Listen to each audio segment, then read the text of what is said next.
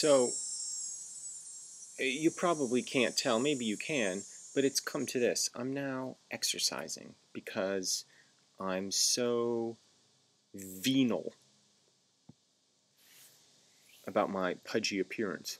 So vain. So just disgusted with myself. Uh, both because I care that people are saying I'm pudgy, and two, more importantly, that I might actually be pudgy. I already had body dysmorphia. I already thought of myself as borderline obese. And now now I'm now look at this. Ugh, I'm exercising like a goddamn asshole.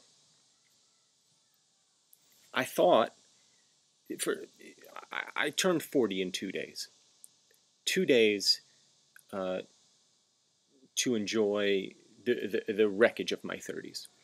And I thought that my body would start to fall apart at the age of 40. I thought that's when the hair falls out, that's when I start gaining obscene amounts of weight, that's when I start start getting bursitis of the elbow. It's not fair to me that I didn't even get all of my 30s. Like there were like I had a couple weeks left. You know, I had a couple weeks of pita chips and ice cream. And now that's just been taken away from me because I had this stupid special where I was pudgy and and because my elbow was falling apart and you know because people say mean things on the internet. Not that I read every single thing that's said about me on the internet, but I do read every single mean thing that's said about me on the internet. So what I'm my new hope for 40 isn't so much that my body stays together, but that I just I literally I just stop caring. That I just it it I, that all this vanity, all this insanity, just uh, falls away like old snake skin, and that I am left in my shiny snake, pudgy body. I want to look like a snake that's just eaten a puppy, you know, just contented and fat and bald. Now, my hair is not in terrible shape, but you know, I, I turned 40 in two days, and then I assume the day after my 40th birthday, I wake up bald. That's what I assume happens. Jill, I understand your anxiety, your career anxiety, the feeling of not having accomplished anything. I, I get that. I experience that every day of the week. That is the essence of Sad Sad Conversation. So you are not the thing that doesn't belong. You are the thing, maybe the only thing that does belong.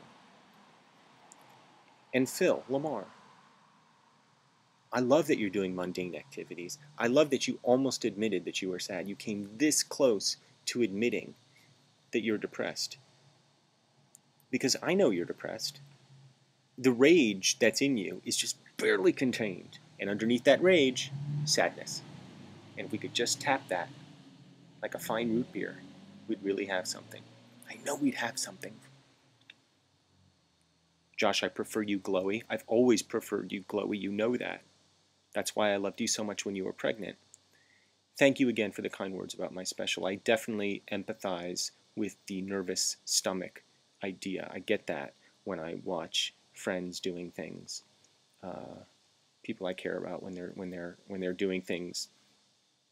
It's funny. I mean, it's almost a parental thing. You know, you get far more nervous for your kids than you than you ever get for yourself, and and that's how I feel when I watch Friends.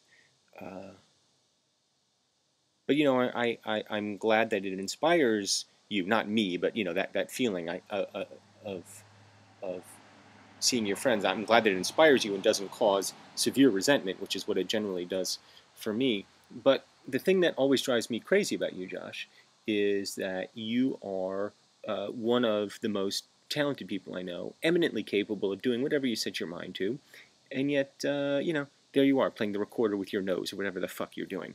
So here's my advice to you: either join the goddamn circus, which you would also be excellent at, or sit down and write something grand.